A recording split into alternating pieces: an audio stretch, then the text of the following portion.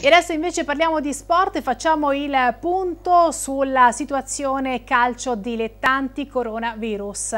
Abbiamo sentito nei giorni scorsi l'assessore del comune di Chianciano Terme, Damiano Rocchi, insomma eh, chiedere eh, un aiuto per la Virtus Chianciano eh, usando parole e toni anche forti nei confronti della federazione. È con noi adesso in collegamento il presidente del comitato regionale eh, toscano della Lega Nazionale Dilettanti, Paolo Mangini che saluto e eh, che ovviamente sicuramente vorrà uh, un aggiornamento, ci farà un aggiornamento. Buonasera Mangini, grazie di essere con noi.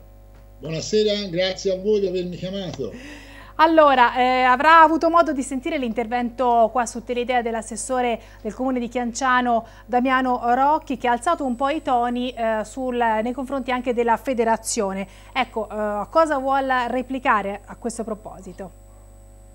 Ma devo dire, io ho ascoltato molto attentamente e con interesse quello che l'assessore ha detto, eh, condividendo alcune cose, però eh, nel suo intervento l'assessore ha utilizzato alcune frasi tipo che noi avremmo fatto il compitino, che saremmo sordi e ciechi di fronte ad alcune situazioni, che ce ne frega altamente delle società. Io penso che lui si stia riferendo ad un'altra organizzazione, non certo alla nostra, perché se si riferisce alla nostra allora forse penso che non conosca esattamente quello che noi facciamo. Il comitato regionale da sempre, ma soprattutto negli ultimi mesi, ha avuto una vicinanza veramente forte, stretta, ma non solo da un punto di vista economico. Anche questo potrei citare le cifre, che sono cifre enormi che noi abbiamo messo in campo per, per la ripartenza delle società, ma vorrei invece citare la vicinanza, l'ascolto, e anche in questo caso molte volte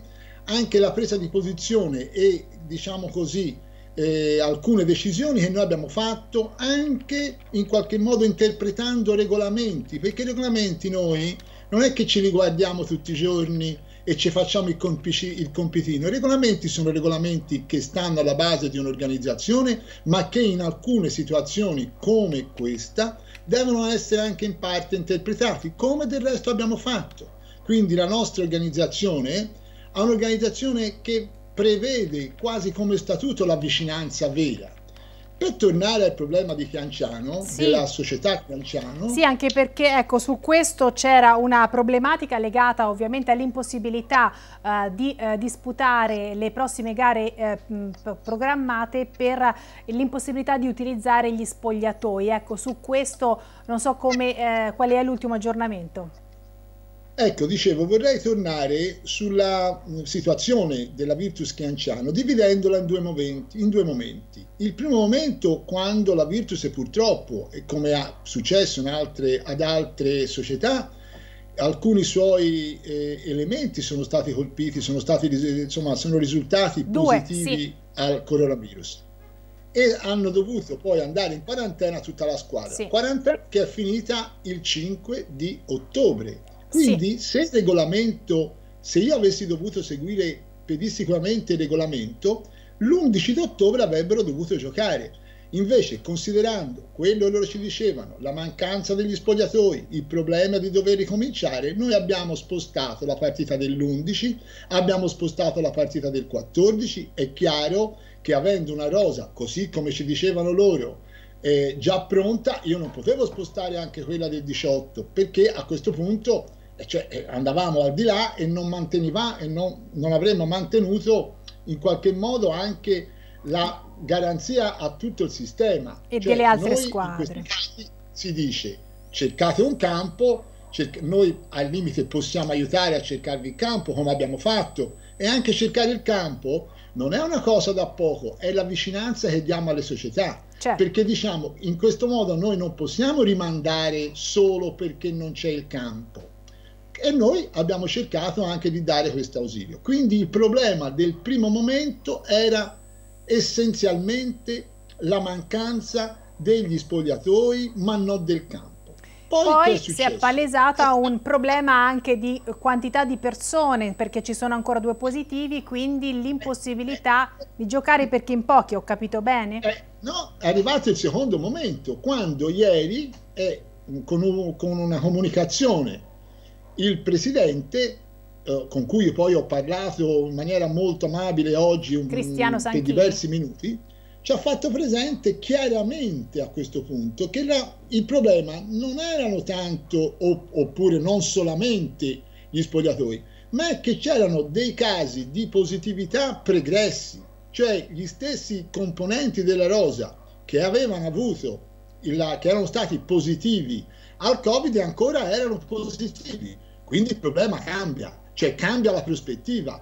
Ma questo in maniera chiara, ripeto, in maniera chiara, noi l'abbiamo saputo ieri, perché fino all'altro giorno, come del resto ha detto anche l'assessore, il problema maggiore era gli spogliatoi. Ho capito. Allora, se qui... cambia la prospettiva, che in questo momento è veramente un'altra prospettiva, cambia anche il modo in cui il comitato cerca di risolvere e infatti sono state prese oggi delle decisioni inerenti appunto alla nuova, la nuova, la accertata ora, dopo che ci è stato detto chiaramente, situazione. E quindi, quindi dimostrando ancora una volta grande vicinanza e, come dire, anche eh, ascolto di quelle che sono le, delle, le, vere necessità. Quindi la Virtus Chianciano no, potrà non giocare? Quali sono le decisioni prese?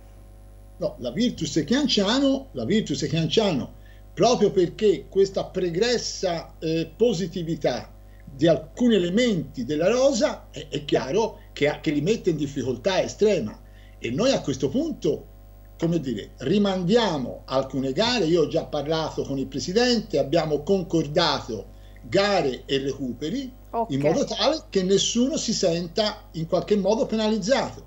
Questo è il modo di procedere, cioè capire, intervenire, posizionamento anche rispetto a regolamenti che in qualche modo devono essere interpretati in questa situazione eccezionale, ma mantenendo l'intero sistema che è fatto di migliaia di squadre, che è fatto di 7, 8, di quattro categorie, eccellenza, promozione, prima, seconda e terza, con migliaia di squadre certo. che non possano essere bloccate per il momento, diciamo così, in maniera del tutto, eh, come dire, anche eh, settoriale. Devo tenere di conto di tutto, tenendo Giusto. conto anche delle vere necessità e dove è possibile intervenire come abbiamo fatto in questo momento. Benissimo.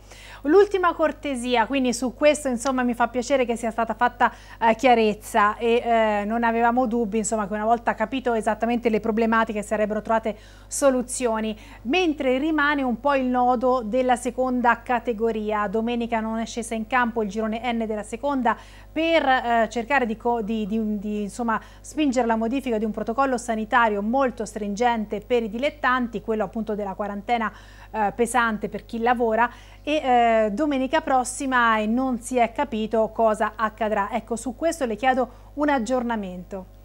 Ma io, eh, i nostri consiglieri di Arezzo e di Siena in questa settimana hanno contattato le società. Io penso che tutte le società in qualche modo disputino la gara domenica. Io veramente eh, sono impegnato, l'ho già detto, il protocollo sanitario purtroppo non lo posso cambiare io, io posso solo spingere la regione ho, con, con, la quale ho già avuto un ulteriore con, eh, colloquio a modificare, soprattutto a uniformare le procedure che le varie ASL eh, adottano nella nostra regione. Alcune ASL adottano una procedura, chiamiamola più soft impropriamente, altre adottano una procedura più rigida io vorrei che la procedura più soft fosse patrimonio di tutte le ASL. Io però non, la, non ho la possibilità di incidere sulle ASL.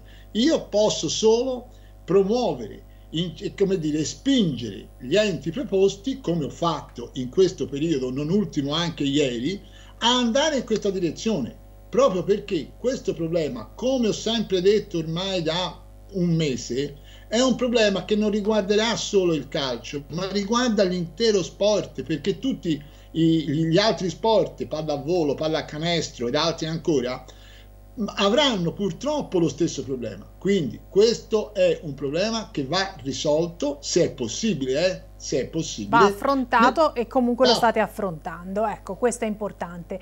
Noi la ringraziamo per queste precisazioni e soprattutto per averci consentito insomma, di poterle divulgare e di eh, mettere un punto di, di chiarezza.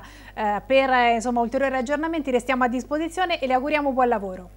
Grazie anche a voi per l'opera di informazione che anche stasera è stata fatta perché più le società conoscono, diciamo così, le problematiche che noi dobbiamo affrontare, più che eh, sicuramente riusciranno anche a capire l'enorme difficoltà in cui noi ci troviamo molte volte a dover decidere e a dover agire. Grazie davvero. Grazie, grazie a lei. La situazione non è semplice, è complessa e con la buona volontà poi le cose pian pianino appunto si affrontano. Grazie ancora a Paolo Mangini, presidente del Comitato regionale toscano della Lega Nazionale Dilettanti. Grazie a lei. Io ringrazio i nostri telespettatori, il TG finisce qui, grazie di averci seguito e buon proseguimento con i nostri programmi.